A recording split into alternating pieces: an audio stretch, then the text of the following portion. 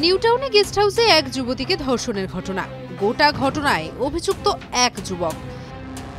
ধৃতের নাম সোনু সরকার। বাড়ি গড়ফা থানা এলাকায়। মঙ্গলবার রাতে গড়ফার বাড়ি থেকে তাকে গ্রেফতার করে ইকোপার্ক থানার পুলিশ। ঘটনার দিন স্থানীয় একটি গেস্ট হাউসে ওঠে ধৃত সোনু সরকার। এরপর যুবতীকে মাদক খাইয়ে তার ইচ্ছার বিরুদ্ধে তাকে জোর করে ধর্ষণ করে। এমনটাই অভিযোগ ওই যুবতীর। নিউ টাউনের একটি গেস্ট হাউসে এক যুবতীকে রেপ করার অভিযোগে গ্রেপ্তার এক যুবক। ইকোপার্ক থানার পুলিশ তাকে গ্রেপ্তার করেছে গরফা থানা এরিয়া থেকে।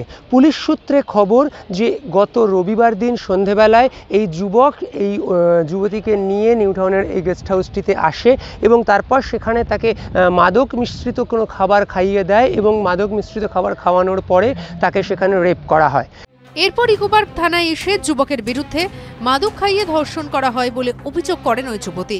ঘটনার তদন্তে নেমে মঙ্গলবার গড়ফা থানার পুলিশ এলাকা থেকে সোনু সরকারকে গ্রেফতার করে নিয়ে যায়।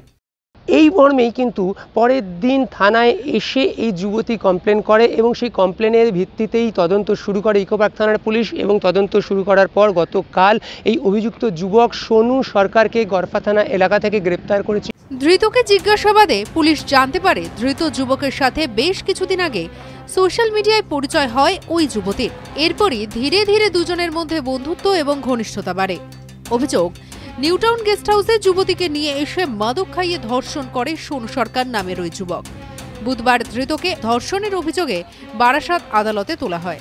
পুলিশ সূত্রের খবর যে এই যুবতীর সঙ্গে সোনু সরকারের পরিচয় হয়েছিল ফেসবুক মারফতে এবং তারপর তাদের মধ্যে ঘনিষ্ঠতা বেড়ে যায় এবং তারপর এই রোববার দিন এই গেস্ট হাউসে তাকে নিয়ে আসে অভিযুক্ত যুবক এবং তারপর সেখানেই তাকে মাদক মিশ্রিত খাবার খাইয়ে রেপ করা হয়েছে বলে অভিযোগ।